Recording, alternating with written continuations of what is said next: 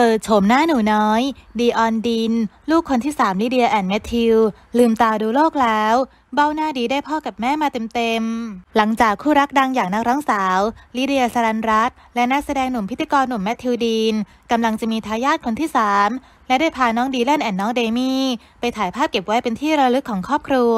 ล่าสุด ลืมตาดูโลกเป็นที่เรียบร้อยแล้วสำหรับลูกคนที่ 3 ของคุณพ่อแมทธิว และคุณแม่ลิเดียดีน และอยู่กันพร้อมหน้าพร้อมตา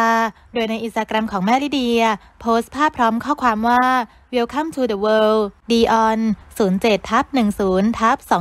2022 หลังจากที่ภาพนี้ได้เผยแพร่ออกไปนั้น ต่างมีแฟนคลับเข้ามาคอมเมนต์แสดงความยินดีอย่างมากมาย